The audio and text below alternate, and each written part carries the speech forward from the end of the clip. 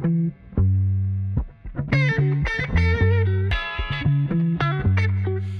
hello, and welcome back to Kim Talks Resilience. I'm your host, Kim Hayden, and this is where I am on a journey of finding amazing women to share their stories of resilience. So, we're going to share the stories and the insights, inspiration in life, love, and business from women around the world.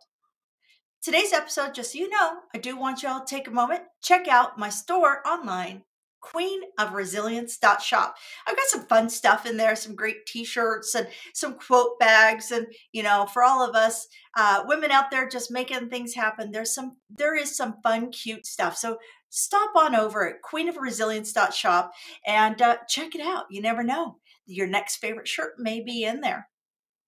So today's guest is Sylvia O'Connor. She has a Master's of Science degree in admission and served as an adjunct professor at Davenport University in Michigan for five years.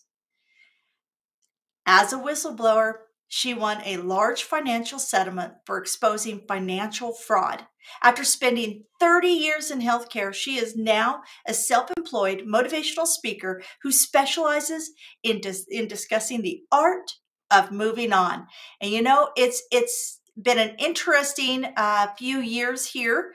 And I think this Thanksgiving, there's going to be a lot of art of moving on.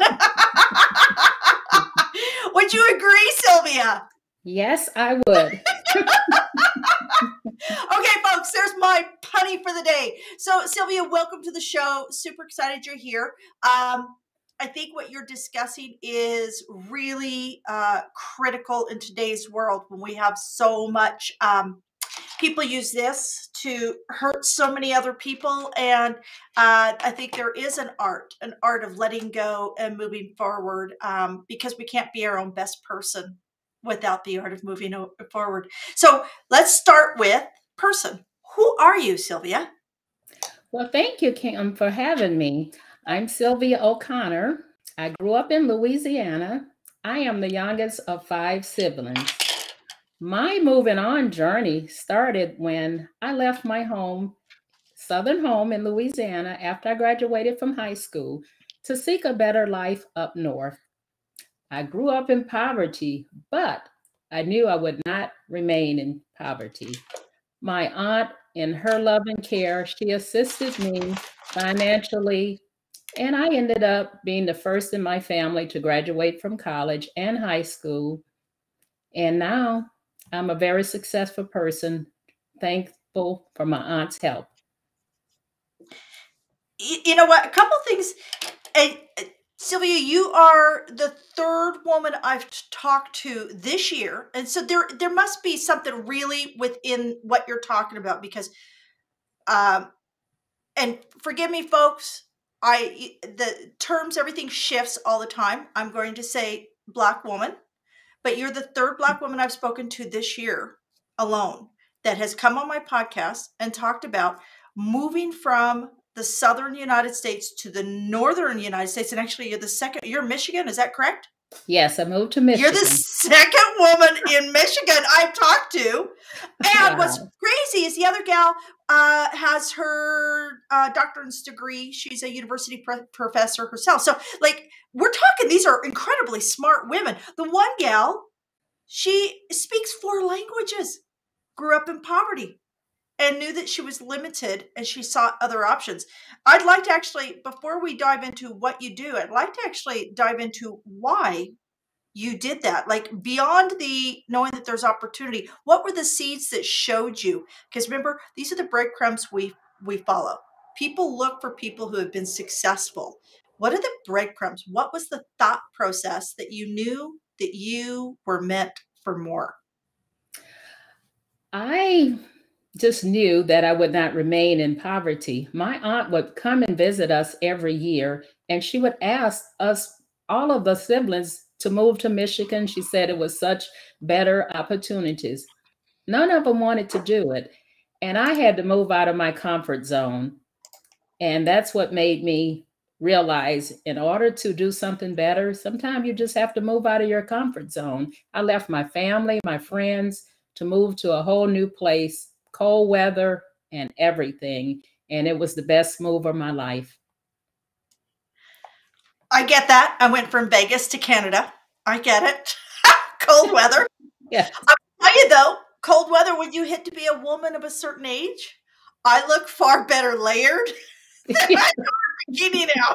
I'm doing everybody a favor. Yes. So I understand that knowing that you're you're not destined to stay in poverty. I myself grew up. I'm from a trailer park in Kansas. Uh, did the typical, got pregnant when I was a teen, you know, um, got married as a teenager, you know, did all the very typical things that you see when you're when you're living just day to day when you don't yes. see a future. Yes. It's very easy when you're living day to day and you're living in fear to also be angry. And you talk about the art of moving on, which means that anger has to be released. Let's talk a little bit about what you do because this is this was you already knew that you were destined for something better. But how did you know that you could let all of the kind of the the fact I don't know about you, but sometimes I do feel a little sad that I had to leave my family and I had to leave the Thanksgiving dinners and I had to leave all that in order to have a better life. You know, sometimes I do feel a little sad about that. But how do you how do you move on? Let's talk about that. I felt sad, but I knew that my aunt was willing to help me. And I had to let go of my friends back home. I had to adjust to a new life. And I enrolled in college, met lots of friends. She would constantly encourage me. The only way people are going to know you're different is they're going to hear your accent. So she worked with me, uh, bought me clothes because, again, I didn't have much. My mother and father couldn't contribute much to helping me. So just knowing there was something better out there, I grew up receiving handouts. And one day I knew that I would be able to give back to those people that helped us, giving us food, um, just encouraging us. And I wanted to one day to say that, you know what, I made it out and I'm going to help someone else make it out.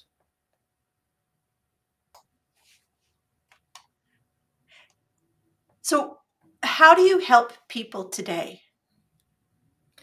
I help people financially. Um, some of the organizations that helped us, one in particular was the Doll and Toy Fund. I remember them always giving us toys at Christmas. So I support organizations like that, Dress for Success, anything to build people up, especially women that may just feel they don't have a way out.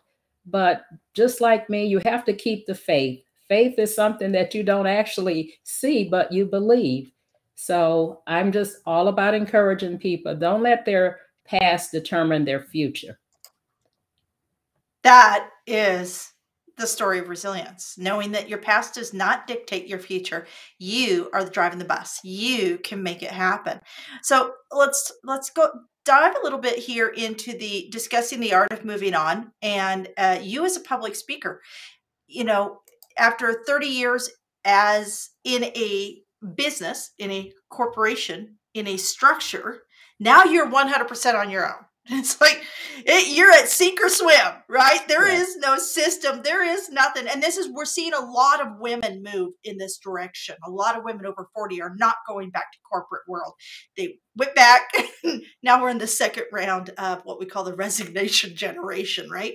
So talk to me a little bit around your mindset and how you decided to step fully into you're speaking and and being an entrepreneur because that's what you're doing and and how you decided what your niche is what you're talking about I had to make a decision. I, as you stated, I had been in health information, mainly a biller, coder, uh, adjunct instructor, uh, Medicare auditor, and I just felt I was at a dead end that I was stagnant. I couldn't go any further, had applied for several jobs.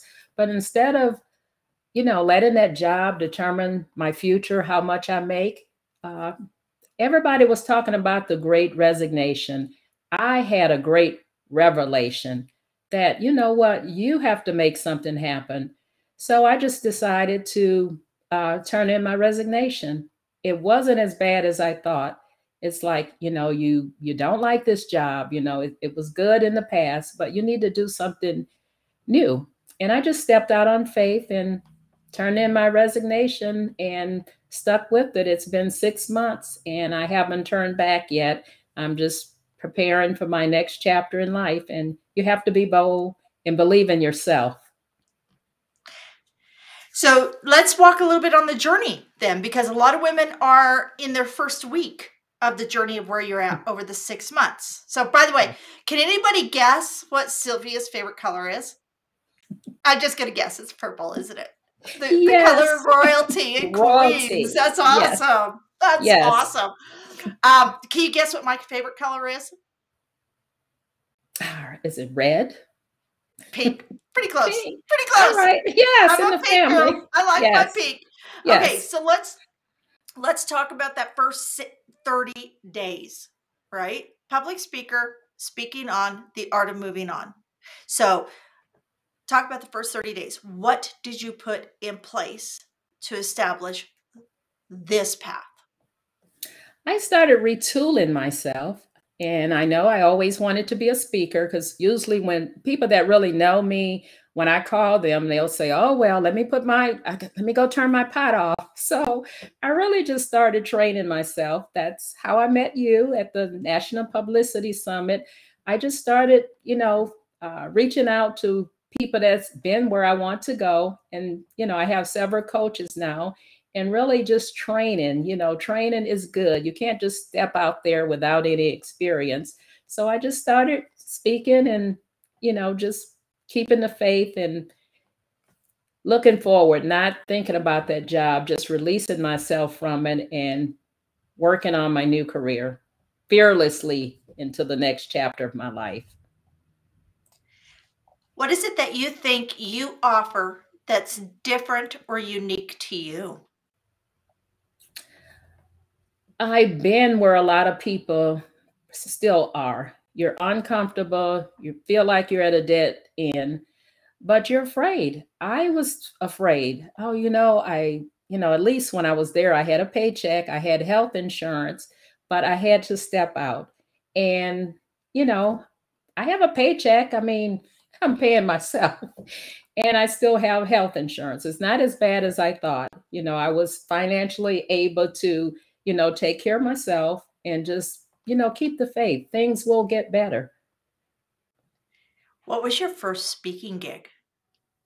My first speaking gig was with Steve Harrison. Uh, actually, it was John Maxwell, and it was a three minute speech on moving on and how to get unstuck. And how did that feel? Like, walk me through that that three minute speech. I want to know a little bit more about it. And do you remember it? Yes, it was. It was about being in healthcare for so many years and just felt that I was at a dead end, that I wanted to leave and was afraid to leave. And then I realized I read a quote that, uh, you know, about failure. Uh, failure is a part of life, but getting up and moving on is what you must do. And that encouraged me. And a scripture came to mind that um, you know god said he would do a new thing. And to order in order to get something new done you kind of have to just get past what happened in the past. You know i was kind of angry about some things and it's like no you know it's just time to move on. Let it go. And so that's how i developed my platform. Let it go. Don't hold any anger. Look for something new and just move on from there. So you're i'm guessing you and i are pretty much in the same kind of age range. And i know that a lot of this is this kind of revelation space right? We i love how you said that a revelation versus a resignation. Right. And we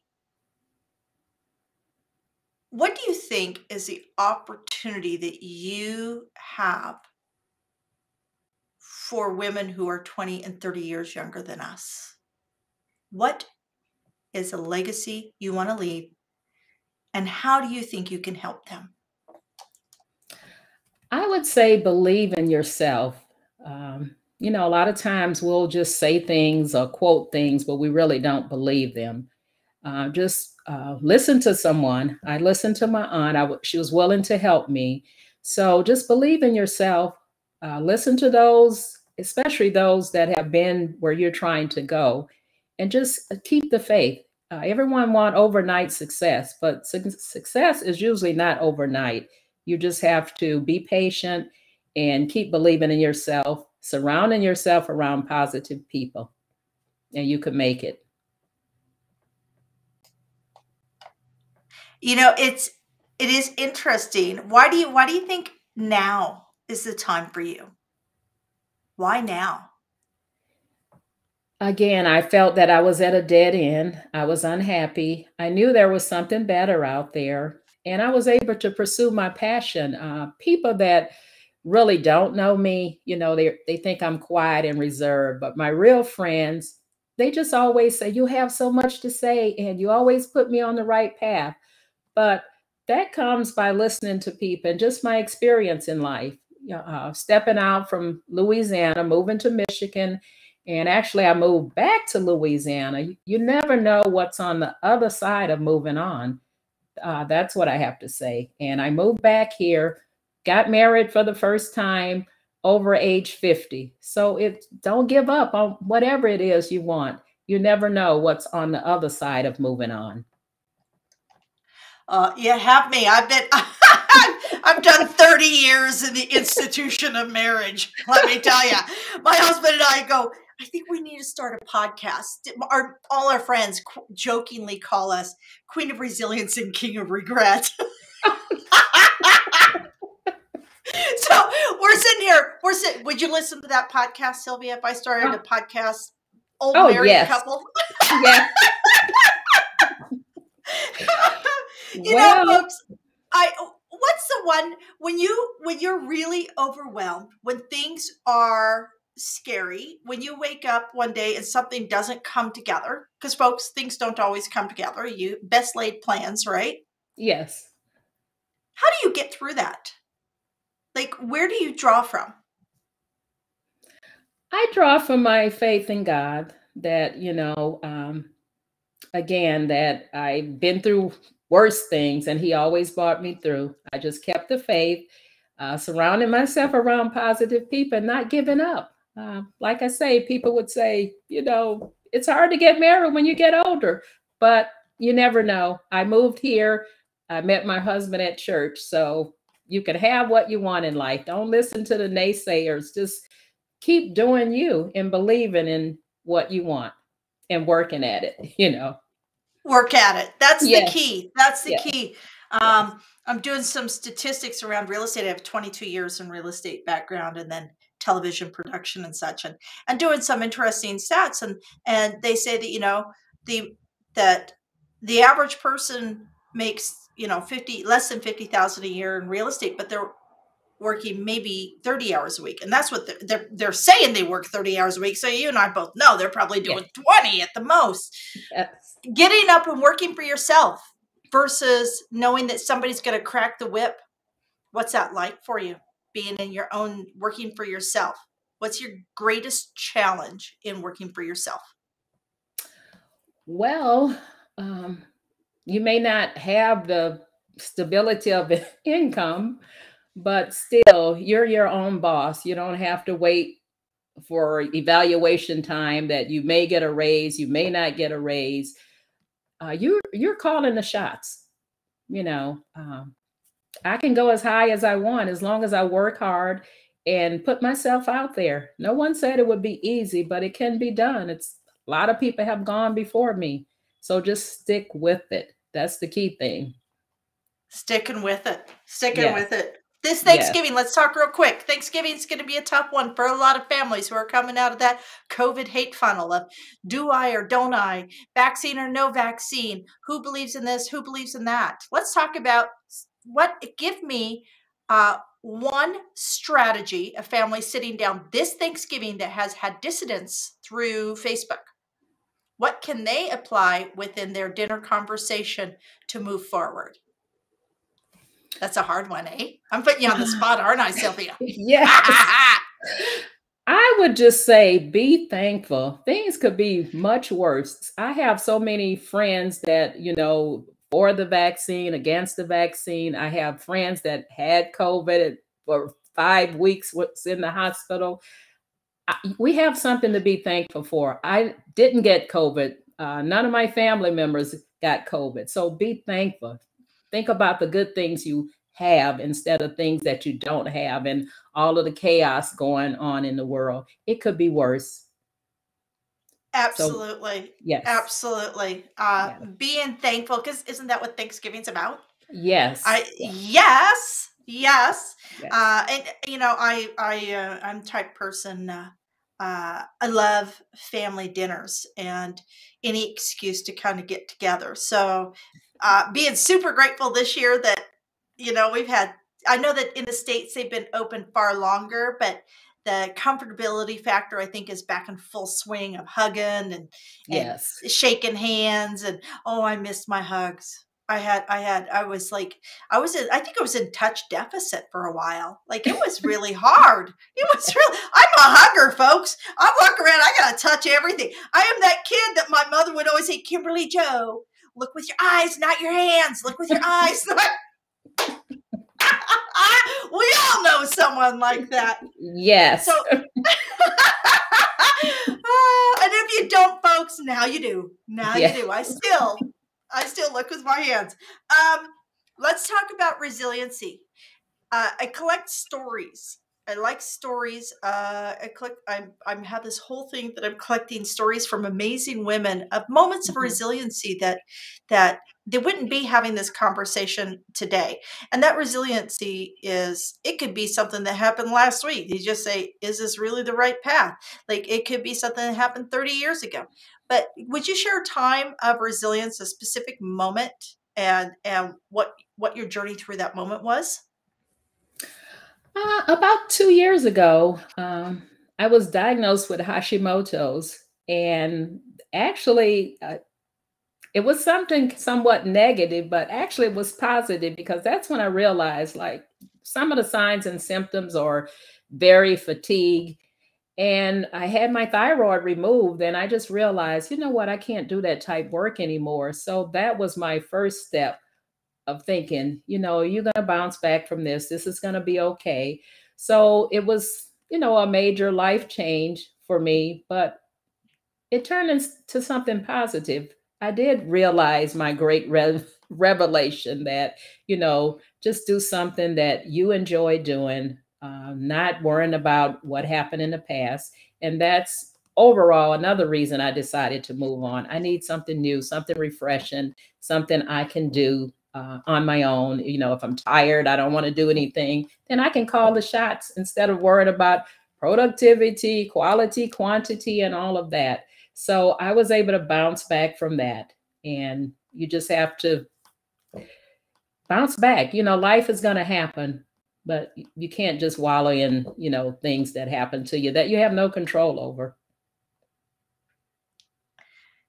I would agree 110% with everything you just said. And mm-hmm. uh, and health wise, how are you today? I'm doing great, feeling much better. Just taking it one day at a time. Awesome. Awesome. And making those days yours. That's yes. what's really cool. Making yes. those days yours. Yes. So let's talk books. Give me your your top picks and uh, and where are you in the process of writing a book? Or you know what's going on in your world and what are you reading? One of my favorite books is higher is calling by tyler perry. I can so much identify with him. Keep going to these jobs that i hate but you're staying for a paycheck.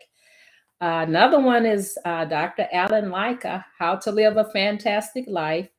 I'm learning how to do that about living life on my own terms. And my book will be coming out hopefully in the next few months. Nine principles to moving from poverty to prosperity. Oh, I like that. I like that a lot. Yeah. I like that a lot. So, well, you'll have a big you have a big book launch, I'm sure. You seem like type person that would love to feed people and have a heck of a celebration. Yes,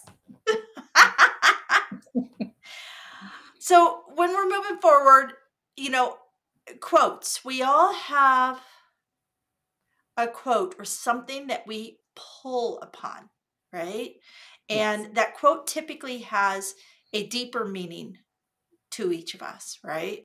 You know, yes. myself, I always jokingly say, I have a couple bursts, you know, poverty is a state of mind, not a state of economics. Yes. Um, I have, uh, I'm from Kansas, so of course, you know, you got to throw in a Wizard of Oz quote. Glinda, you always had the answers within you. You just had to learn them.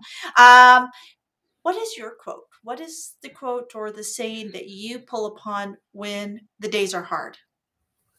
One of mine is if you can believe it, you can achieve it.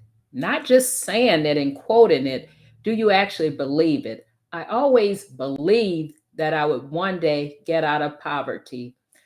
One other one is do not concentrate on what could go wrong, concentrate on what can go right. Concentrate on what can go right. Yes. That is the difference between why me and why not me. Yes. I love that. I love that.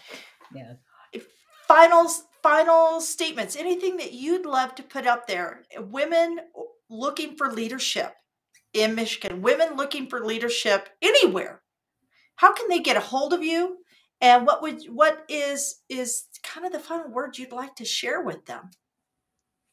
Well, my website is coming along fine. I can uh, be reached at sylvia-o'connor.com. And a quote I would like to, or just some encouragement I would like to leave with someone don't give up. You know, who would think at this time I would be quitting my job in midlife? Never think it's the end. You know, if you keep moving on, surround yourself around positive people, you can have anything you say. It's not going to come easy. Just keep at it, stick with it. Nothing worthwhile comes easy. Right. And the darkest is always before the dawn. This is just a fact, folks. And uh, it is hard. It is hard. But, you know, it's, it's, if the journey doesn't have challenges, it doesn't have memorable moments. Yes. So, uh, and be grateful that we're all here, able to journey yes. together. Yeah. Absolutely. Absolutely. Well, folks, that was Sylvia O'Connor, our up and coming motivational speaker of how to move on. And remember, you know, uh, it could be a revelation. This Thanksgiving dinner doesn't have mm-hmm. to be a resignation. Be grateful for what you got. Uh, lean into those that you love and step into your place of leadership because you know what? Without having strong leaders, uh, we don't have we don't have a world that that can grow and move forward. And remember, yes, we all know there's only seven original storylines. Yet there are no two voices alike ever. Yes. So be a voice, speak up. Until next time, I'm Kim Hayden. This is Kim Talks Resilience. If your resiliency is lagging, listen and lean into our resilient community. Be sure to grab your gift at resilientgift.com for our monthly magazine. And until next time, be kind to yourself. Bye for now.